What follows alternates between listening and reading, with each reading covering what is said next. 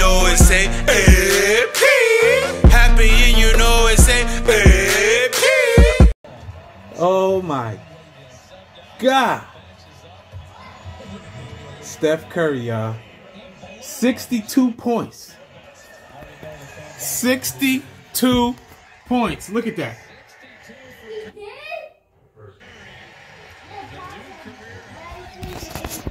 Oh my gosh. God. If you love basketball and you love to watch a shooter, how could you not enjoy watching Steph Curry play? 62 points, unbelievable. I believe Klay Thompson had 61, is it? Steph Curry just had 62 in like 30 something minutes. Unbelievable. Fans, no fans, this is unbelievable. Guys, tell me what you think about it.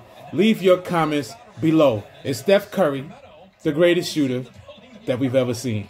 I hate to call people the greatest this or the greatest that, but 60 something points, 62 points, all these three pointers. Come on, man. Tell me, give me your top five shooters. All right, leave your comments below. And one in a billion, and I'm out.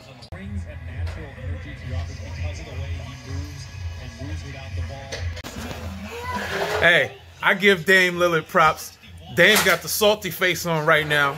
He walking with his head down, but he just had a nice conversation with Steph right after the game. Both of them are like competitors, Curry major competitors. won. There goes Steph Curry right there, Josie.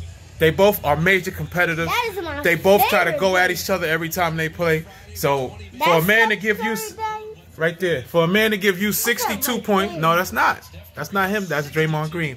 For a man to give you 62 points, and for you to still give him dap, that shows that you're a real one. You know what I mean? So respect the Dame for that. You know, because he's giving Steph numbers too. But 62, oh my gosh, crazy. Guys, like, comment, share, subscribe now. Happy and you know it say AP.